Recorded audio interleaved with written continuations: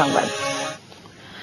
উড়লে আকাশে প্রজাপতি, প্রকৃতি পায় নতুন গতি স্লোগানে হলো তৃতীয় প্রজাপতি মেলা। জাহাঙ্গীরনগর বিশ্ববিদ্যালয়ের এই আয়োজনে সহযোগিতা করে প্রকৃত জীবন ফাউন্ডেশন। প্রাণীবিদ্যা নিয়ে গবেষণার জন্য ঢাকা বিশ্ববিদ্যালয়ের অধ্যাপক সৈয়দ হুমায়ুন কবিরকে দেওয়া হয় আজীবন সম্মাননা। আবুল কাশিমের তোলা ছবিতে শামসুদ্দোহা পান্না রিপোর্ট।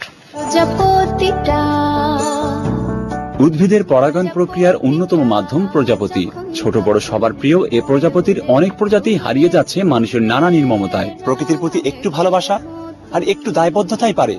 প্রকৃতিতে এ সকল প্রাণীকে নিজের মতো করে টিকিয়ে রাখতে। বিপন্ন প্রজাতির প্রজাপতি সহ বাংলাদেশ এবং বিশ্বের বিভিন্ন দেশের প্রজাপতি দেখতে মেলায় উপচে পড়া ভিড়। প্রকৃতির প্রতি মানুষকে আরেকটু দায়বদ্ধ হওয়ার পরামর্শ প্রাণী বিশেষজ্ঞদের।